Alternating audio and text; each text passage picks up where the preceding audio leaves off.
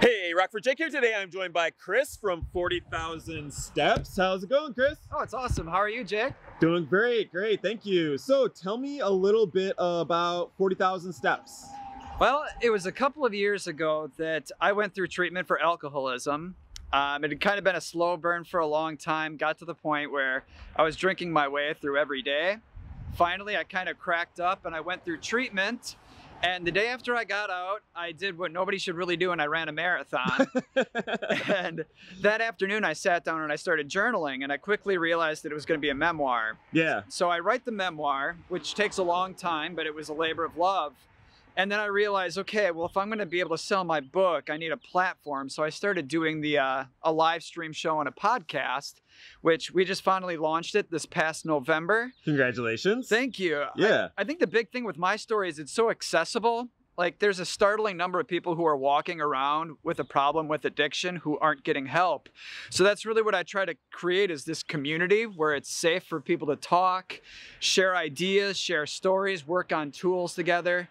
And you know, it's just a place where it's cliche, but you know, we, we can laugh and we can cry together. Yeah. So we do. We now are doing a weekly podcast. We, Nice. We feature anything from. I just got done interviewing a guy who's an Ironman who spent ten years as an opiate addict. Wow. Um, we have experts on the show. I've had a bar owner on the show because we want to get you know every perspective on what's a really difficult uh, issue to talk about. That's, I mean, that's really a driving thing with this Right. is to get after that stigma because this is the sort of stuff that people don't want to bring out into the open and talk about. And that's what keeps a guy like me, like a high functioning alcoholic, you know, that, that's what keeps me from talking about it. Yeah, that's one thing that you'd said in our little like pre-recording chat was like the surprising number of people that are out there where on the surface you run into them on the street and you would never suspect that they're going through that kind of struggle, Mhm. but behind the scenes they are dealing with, you know, the throes of addiction. You know, it was insanity the way that I would drink my way through the workday, which meant I'd be going to the courthouse every day. I'd be getting, you know, wanded by sheriff's deputies and bailiffs, and I managed to, to go through there on a daily basis, and nobody was any the wiser. Um, so, yeah, a lot of us, when we're in the throes of addiction, we are very good at hiding it. I Yeah. always say that I was like a, a ninja with my addiction. I mean, my wife found out a few times she'd find empties and we'd have that brutal conversation. But eventually it would always be like, you know, I'd get clean for a couple of days, Right. but then it would become like one more time for the last time and I'd be right back in it again. Yeah. And it kind of took me hitting, and I hate this term, but it took me hitting a sort of rock bottom where I snapped and walked out of work and checked into treatment. Um, I, I don't think that people need to hit that Hollywood rock bottom of losing everything, losing their job, their family, their you know their their house.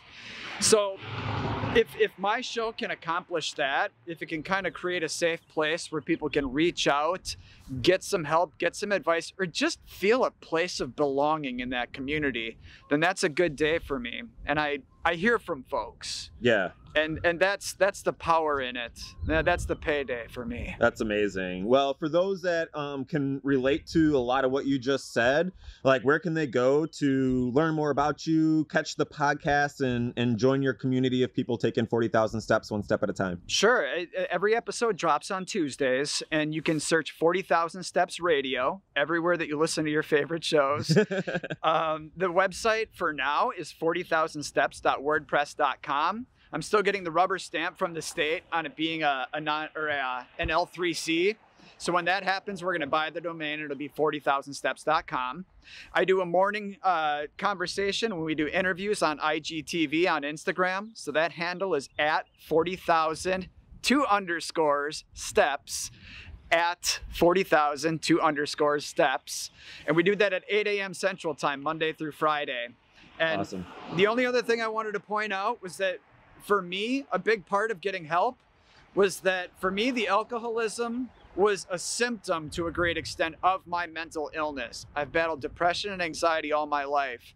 So that's the other part of that stigma. So we're talking about addiction, but a lot of what we're talking about as well is getting people help for uh, for mental illness. Fantastic. Well, thank you so much, Chris, for taking the time to get together and chat. And thank you, Rockford, for Oh, the screen.